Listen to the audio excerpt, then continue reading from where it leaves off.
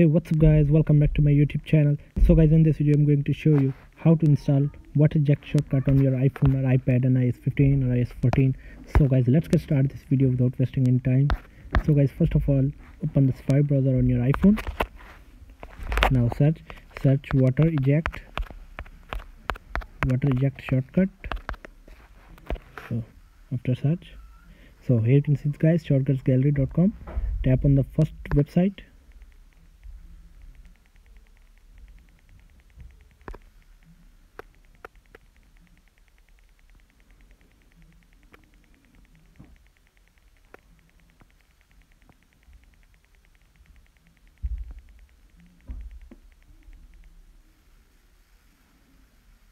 so tap on get shortcut.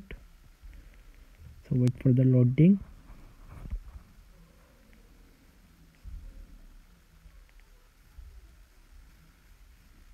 Water eject can't be opened? So tap on ok. So scroll down. Now tap on shortcuts tap on my tap on plus. Tap on add action. Web filter articles next enter name tap on done.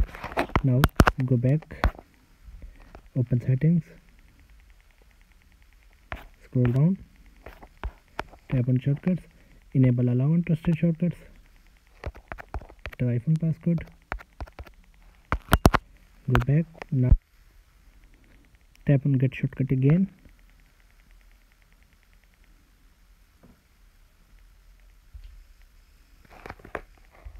so scroll down. Tap on add untrusted shortcut.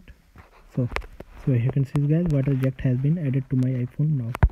So guys thanks for watching this video. Please like share and subscribe. Thank you guys. See you in the next video